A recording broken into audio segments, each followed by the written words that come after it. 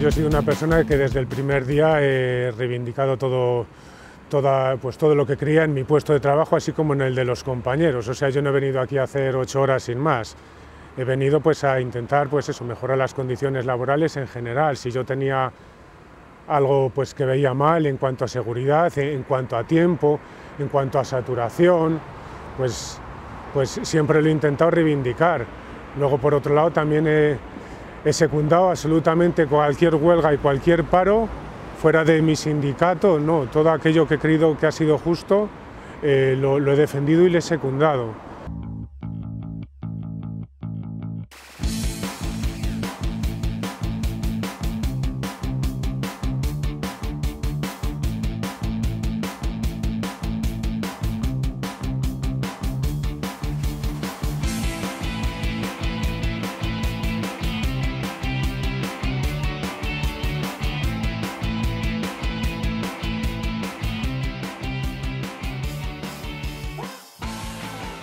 Nuestro trabajo cotidiano mayormente es un trabajo en cadena, eh, trabajo de cadena, de montaje y de logística.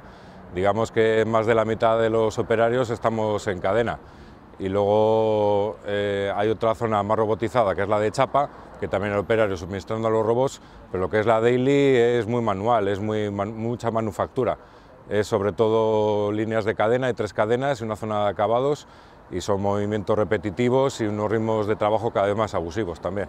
Toda la historia del compañero Chechu empezó pues, eh, sobre todo eh, pues, muchos años trabajando en la cadena,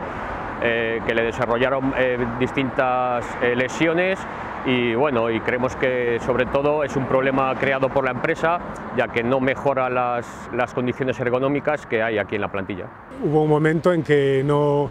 después de ser castigado a un puesto un puesto un poco más duro, pues eh, al cabo de los meses yo me empecé a quejar de unas dolencias que yo ya venía arrastrando anteriormente. Por decirlo así, se me puso en un puesto de, castigo que ya había estado anteriormente, pero bueno, yo nunca había presentado aquí mis dolencias. Una vez que las presenté, bueno, pues, pues el servicio médico y prevención de riesgos laborales pues prácticamente se rieron a la cara mía y la de mi delegado, diciendo que este era el puesto perfecto para mí y que de aquí no me iban a mover. Eh, se me obligó prácticamente por mis dolores a, cogerse la baja. A continuación, bueno, pues la, mutua me hizo una resonancia y, vio que mis, de, mis lesiones se habían agravado. Yo tenía dos hernias discal y he pasado a tener tres hernias discal. Luego, durante esta baja, pues con la parada física y de actividad, pues también se me vio que tenía un, menisco roto degenerativamente que no se podía operar, por lo cual mi, mi, baja se ha alargado más. He tenido dos bajas consecutivas y encadenadas. Lo que le ha pasado al compañero es que se ha visto inmerso en un despido fulminante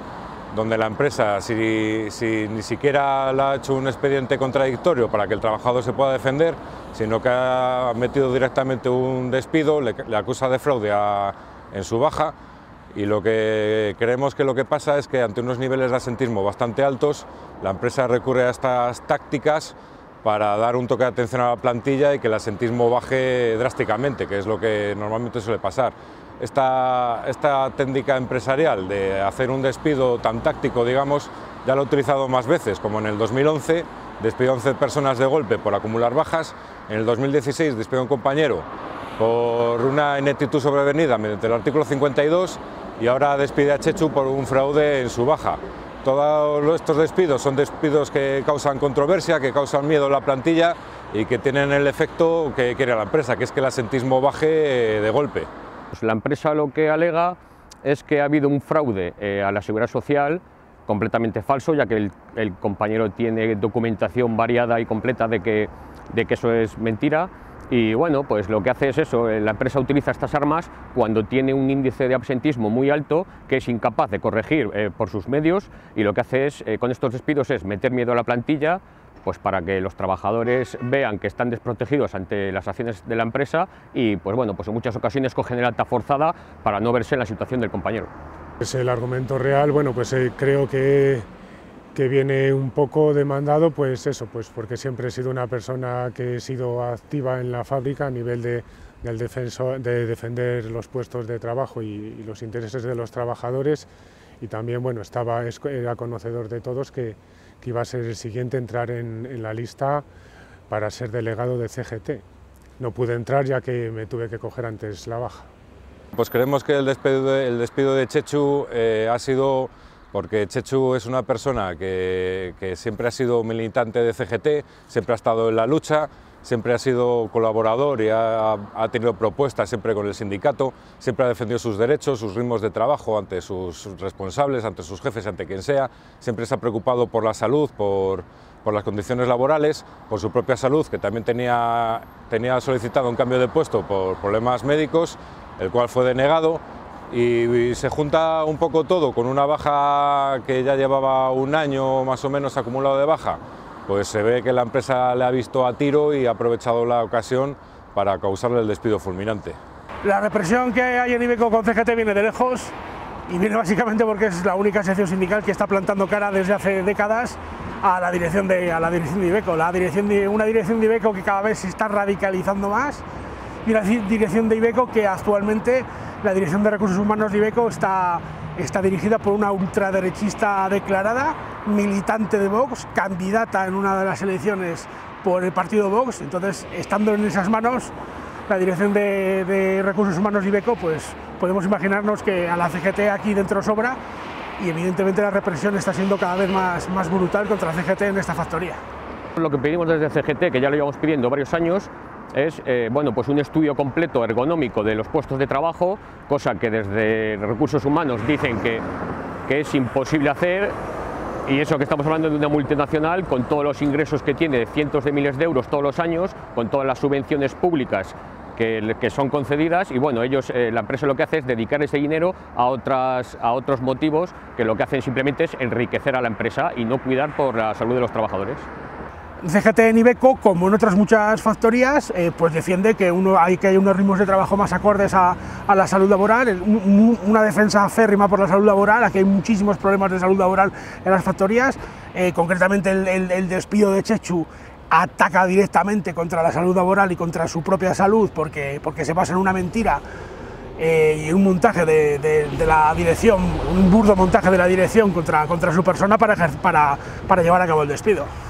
Pues hemos llevado a cabo una serie de acciones, eh, la cual empezó con una huelga de dos horas, con una concentración aquí a las puertas. Hemos hecho otra concentración en la Plaza del Milenio ante, ante el mitin del PSOE en su cierre de campaña y seguiremos haciendo las acciones necesarias, haciendo pancartas, haciendo más concentraciones, intentaremos hacer algún acto un poco más festivo para que se haga más público y se haga más conocido el caso, para seguir presionando a la empresa para llegar a su readmisión, por lo menos hasta, hasta el día del juicio. Esperemos que la empresa, antes del juicio, eh, pues eh, nos conceda la petición que es la, la, readmisión de Chechu, porque estas multinacionales lo que hacen es aprovecharse también de las necesidades de, de las necesidades de los trabajadores y antes del día del juicio, bueno, pues suelen ofrecerle eh, bastante dinero más de lo que le correspondería con un improcedente y, como digo, pues así jugando con las necesidades del trabajador. Entonces el trabajador tiene que elegir entre entrar a juicio o eh, coger el dinero que le ofrece la empresa y ya te digo, hay muchos trabajadores pues, que se ven en la necesidad de coger el dinero. Desde CGT tenemos, tenemos claro que esto no lo vamos a parar, ya hemos realizado varias movilizaciones, iremos donde tengamos que ir, hagamos, haremos lo que tengamos que hacer, no, no nos da miedo las consecuencias porque consideramos que al compañero Chechu se le han despedido de una manera injusta eh, lo que ha pasado es inasumible y por, parte de CGT no lo vamos a consentir y lucharemos hasta el final hasta, y acompañaremos al compañero Chechu hasta, hasta el día que, él decida y hasta donde, hasta donde decida de la manera que él decida. De alguna manera eh, tenemos que crear un, precedente eh, a favor nuestro, por decirlo de alguna manera. No podemos permitir que, que porque se nos someta a unos tiempos de trabajo muy duros y a unas condiciones laborales muy exigentes. Eh, la gente, pues eso, eh, los trabajadores ya con una media de 44 años de edad que tenemos, pues tarde o temprano vamos a ir, a ir cayendo, el que más, el que menos padece, si no es de una cosa, es de dos.